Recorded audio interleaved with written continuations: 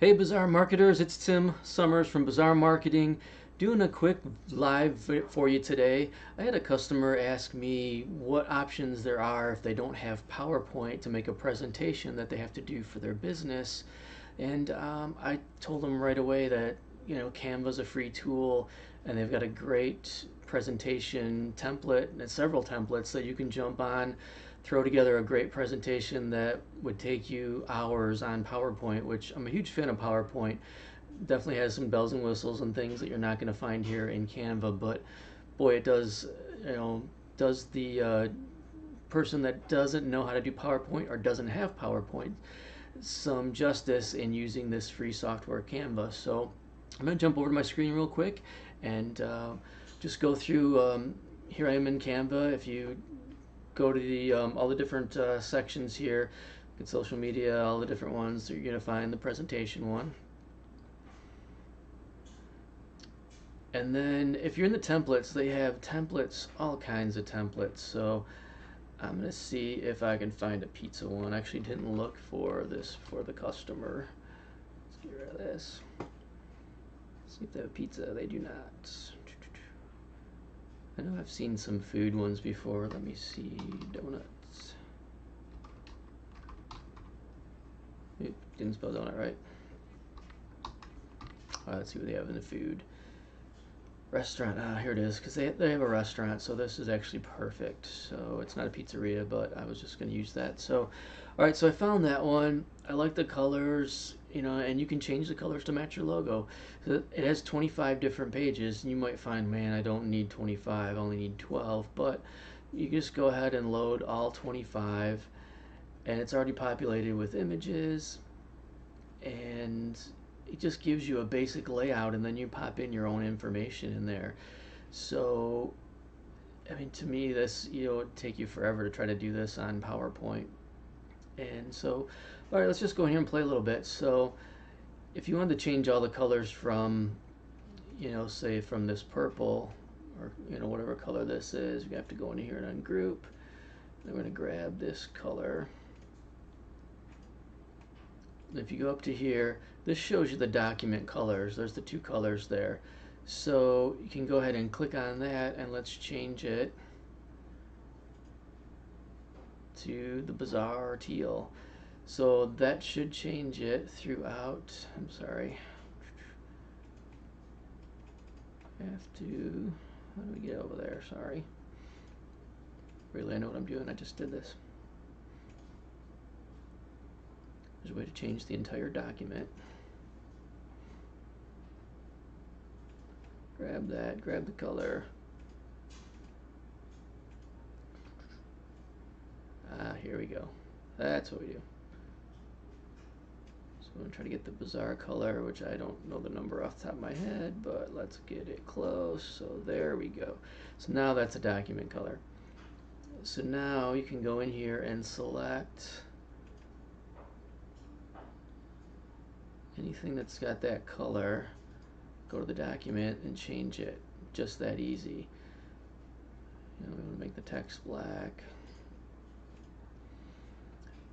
So it makes it real simple. Once you set the document, then you can go in there and change, you know, change the colors to, you know, whatever you want it to be. And let's say, you know, pizza is not our thing, it's donuts. So this is actually a background here. So if we delete that, now we want to put in, let's go to pizza because that's my favorite customers are pizzerias. So now I'm going to drop that in as the background.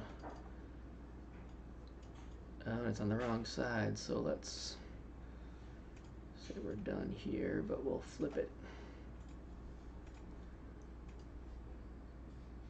And we can get it bigger now.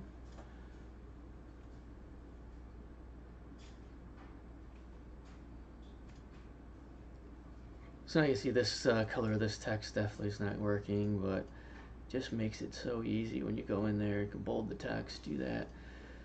So now you can go just on each one of these if you only want you know it's got 25 pages but you don't want that many you just start deleting them as you will and this is where PowerPoint has the animation. You can do, you know, the different transitions in that. This has got an animated feature as well. So you can do things like this where it, you know, does that with the text. It fades it in, it tumbles it. You can do a stop. And it'll turn this into a nice little presentation where you can make this, you know, apply to every page. So let's go to a different page here. So each one does it. So lots of different quick, you know, to try to go through and do all this in PowerPoint, it's a lot harder than when you just go in here and you can make some simple changes and, you know, I have to ungroup these that are bigger. Change it to be your colors, change that to black. And then we go to the animate.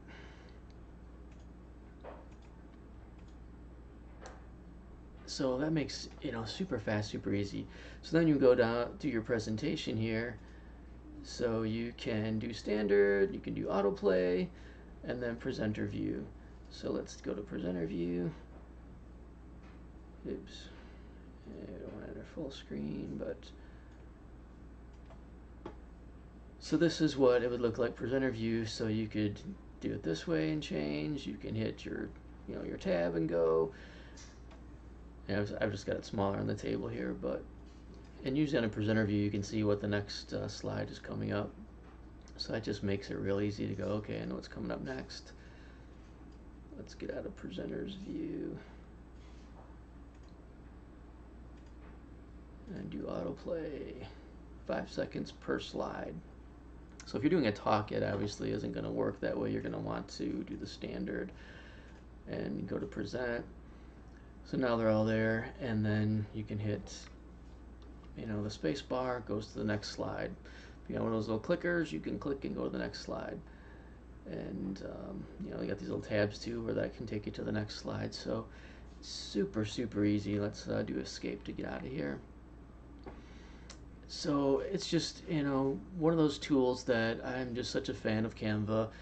And there's a paid version, there's a free version. We use the paid version, obviously, but if you are doing quick presentations, if you have to put together your social media posts, um, you just can go in here and pick social media. You got your Instagram stories, and there are templates. You know, you go to templates, and here's all these different templates. Um, you can put in, you know, the beach. Let's see what comes up for the beach.